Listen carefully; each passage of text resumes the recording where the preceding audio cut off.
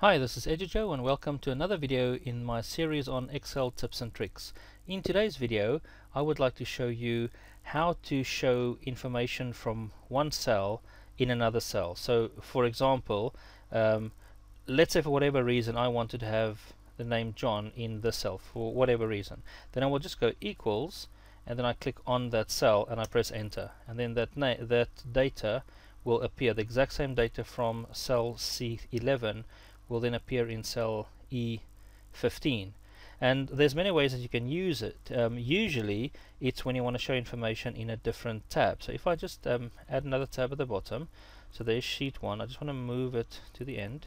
So that's sheet 1 and then I can say okay I want to have for example um, let's say I want the names. Actually I can actually do this better. So let's say I want the, the, the first name and last name. So I go equal I go to my main table, my main tab, I click on the first name and I press enter and there I've got the first name. And then I can just click and use the full handle and drag down and then I can get all the other information um, that is available on the previous or on, on the other cell. And then you will see it says here equal main and an exclamation mark over there. That means it ref it's referring to the main tab and specifically cell C3 and in this case it is cell C4 and if I go down you can see 7, 8, 9 and so on. So you can see that's the main tab and then it was referring to those cells over there.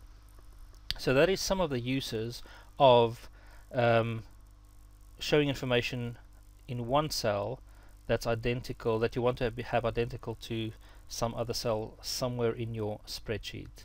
I hope that helps. Thanks for watching.